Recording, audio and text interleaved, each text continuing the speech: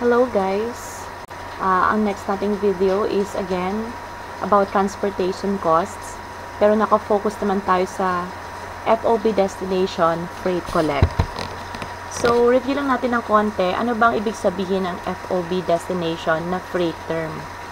Uh, pag FOB destination, ang ibig sabihin nito, the seller bears the shipping costs. So, ibig sabihin, ang responsible sa pagbayad ng shipping cost or transportation cost ay si uh, seller.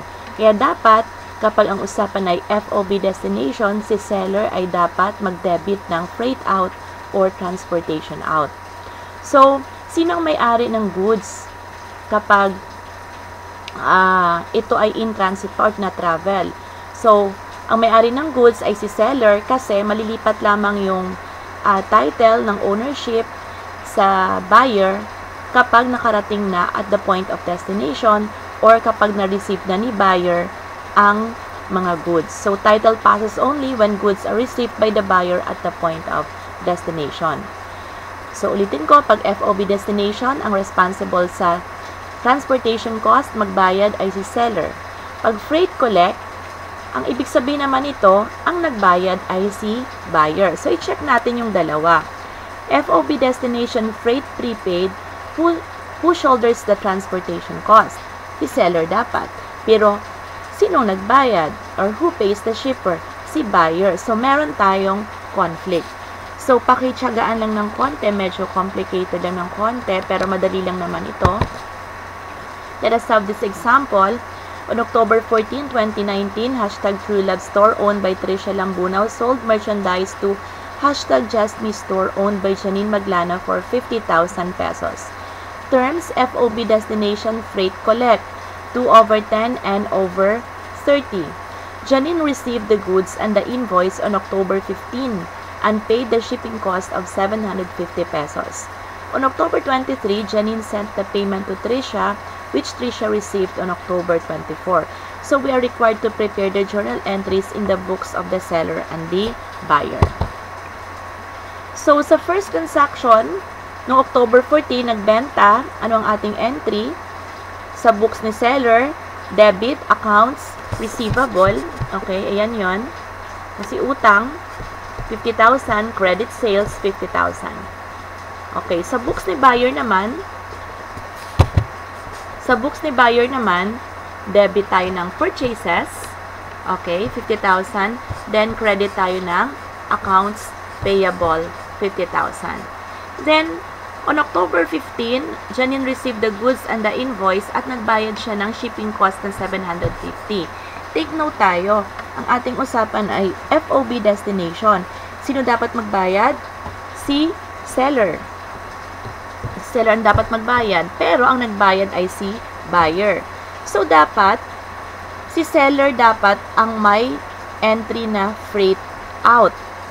Dapat si buyer, wala siyang entry na freight in or any item sa transportation cost dito.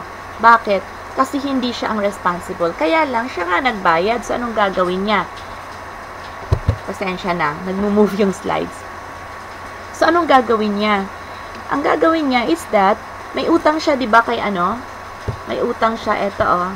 May utang siya kay uh, seller, eto, accounts payable eh ang dapat magbayad nitong 750 ay si seller.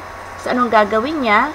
Buyer will deduct this 750 pesos. Okay? Saan? Sa kanyang utang kay seller. Kaya, nag-debit ng accounts payable. Okay, ayan.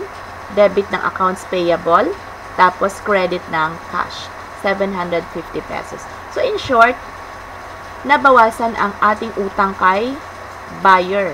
Naging 49,250 na lang. Now, punta tayo dun sa recording ng payment. Isa-isahin natin. Sa books ni seller, makikita natin dito, nag-debit tayo ng cash, 48,250. Debit sales discount, 1,000. Debit freight out, 750. Credit accounts receivable, 50,000. Paano ba na-compute tong mga to? Saan galing itong sales discount po na tayo? Saan ang galing si sales discount? Si sales discount ay 1,000 pesos. Check natin, may sales discount nga ba? Dito sa baba, ito yung original entry natin, yung nagsimula tayo sa transaction. May usapan na 2 over 10.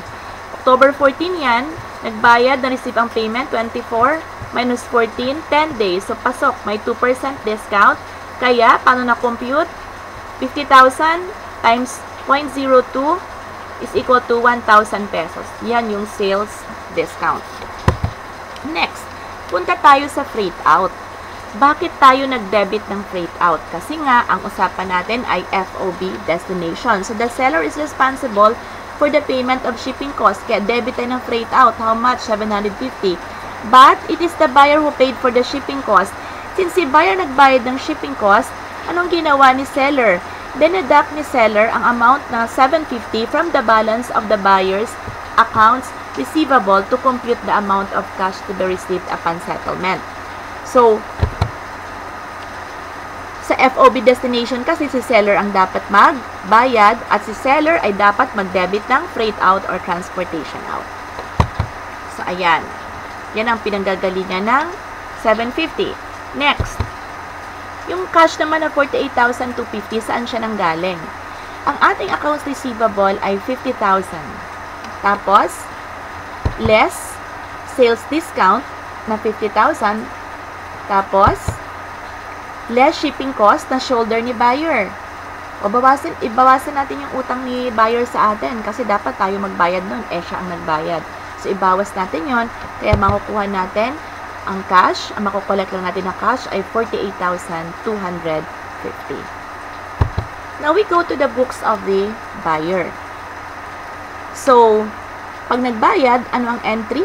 Deb, uh, pagbayad natin, debit accounts payable, 49,250, credit cash, 48,250, credit purchase discount, 1,000. So, paano ba naging ganon?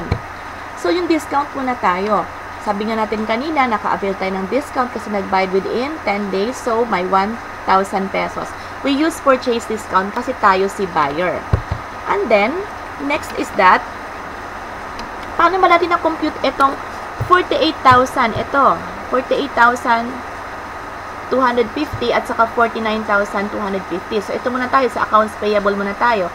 ba ang utang ay 50,000.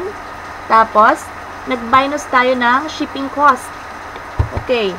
Nag-minus tayo ng shipping cost. Yung 750, saan ang gagaling yung 750? Sa October 15 na entry. Sa October 15 na entry. Ito yon. Yan yon. Tapos, ayan. Yan yung pinanggagalingan ng 750. Kaya ang balance ng utang natin, 49,250 na lang.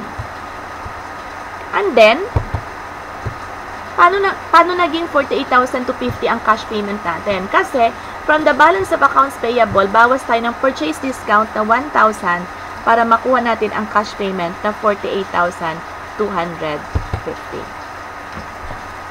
Okay? So, I hope na intindihan nyo guys kung paano siya.